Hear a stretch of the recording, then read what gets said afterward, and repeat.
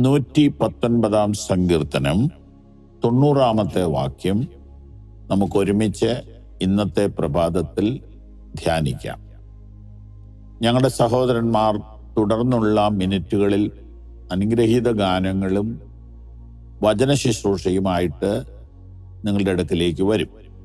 എന്നാൽ ഒരു തുടക്കം എന്ന നിലയിൽ ഒരു ചെറിയ ചിന്ത നാം ഒരുമിച്ച് പങ്കുവയ്ക്കാൻ ആഗ്രഹിക്കുന്നു. ദൈവമേ നിന്റെ വിശ്വസ്തത തലമുറ തലമുറയോളം ഇരിക്കുന്നു.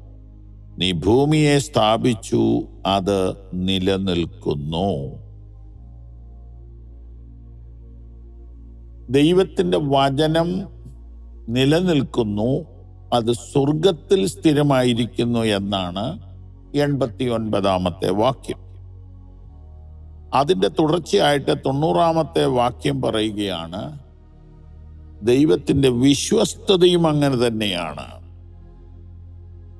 അതെല്ലാ തലമുറകളിലും നിലനിൽക്കും. അതായത് വചനം ഉള്ളിടത്തോളം ദൈവത്തിന്റെ വിശ്വസ്തത അതിന്റെ മേൽ വ്യാപരിച്ചുകൊണ്ടിരിക്കും വർക്ക് ചെയ്തുകൊണ്ടിരിക്കും. എന്തുകൊണ്ടെന്നാൽ വചനത്തിൽ പറഞ്ഞിരിക്കുന്നത് ഭൂരിഭാഗവും വാഗ്ദത്തങ്ങളാണ്. അത് നിറവേറ്റണമെങ്കിൽ വാക്ക് പറഞ്ഞവൻ അവിടെ ഉണ്ടാവണം. വാക്കു പറഞ്ഞവൻ ഉണ്ടെങ്കിലേ വാഗ്ദത്തങ്ങൾ നിറവേറ്റപ്പെടുകയുള്ളൂ. ഉദാഹരണത്തിന് രണ്ടോ മൂന്നോ പേർ എന്റെ നാമത്തിൽ എവിടെ കൂടിയാലും അവരുടെ നടുവിൽ ഞാനുണ്ടെന്ന് കർത്താവ് പറഞ്ഞപ്പോൾ രണ്ടായിരത്തി ഇരുപത്തിനാല് നവംബർ മാസത്തിൽ ഈ വാഗ്ദത്തം നിറവേറണമെങ്കിൽ യേശുക്രിസ്തു രണ്ടായിരത്തി ഇരുപത്തിനാല് നവംബർ മാസത്തിൽ ലൈവ് ആയിരിക്കണം ജീവിച്ചിരിക്കണം സർവവ്യാപിയായിരിക്കണം സർവജ്ഞാനിയായിരിക്കണം അവൻ ഇവിടെ ഉണ്ടായിരിക്കണം. ഇങ്ങനെ വരുമ്പോൾ ദൈവമേ നിന്റെ വചനം സ്വർഗത്തിൽ എന്നേക്കും സ്ഥിരമായിരിക്കുന്നു എന്ന വചനത്തെ തുടർന്ന് പറയുകയാണ് നിന്റെ വിശ്വസ്തത. നിന്റെ വിശ്വസ്തത തലമുറ തലമുറയോളം ഇരിക്കുന്നു.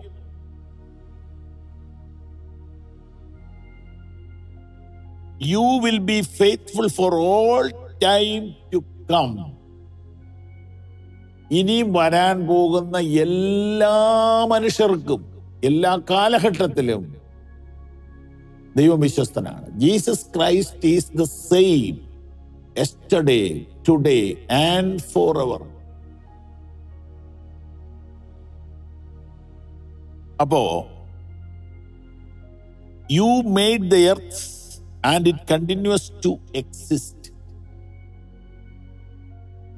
ഞാനും നിങ്ങളും ജനിക്കുന്നതിന് എത്രയോ നൂറ്റാണ്ടുകൾക്ക് മുമ്പ് ഭൂമി ഇവിടെയുണ്ട്.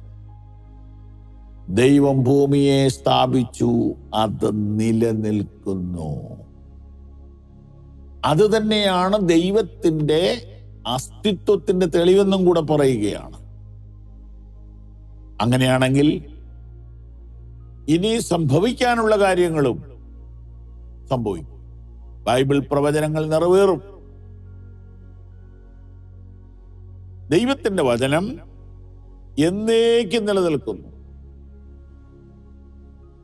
ദൈവത്തിന്റെ വാഗ്ദത്തങ്ങൾ എന്നേക്കും വർക്ക് ചെയ്യുന്നു. ദൈവത്തിന്റെ വിശ്വസ്തത ഒരു തലമുറയിൽ നിന്ന് അടുത്ത തലമുറയിലേക്ക് കൈമാറ്റപ്പെടുന്നു.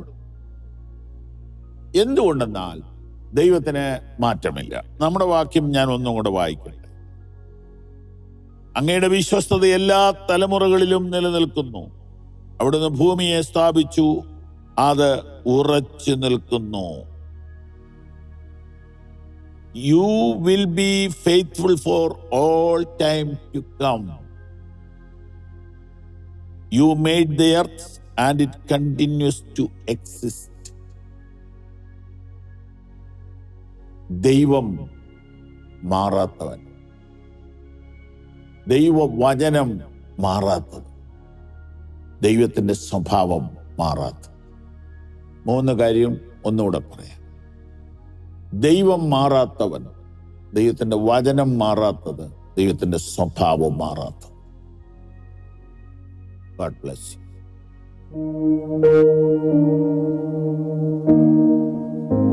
യു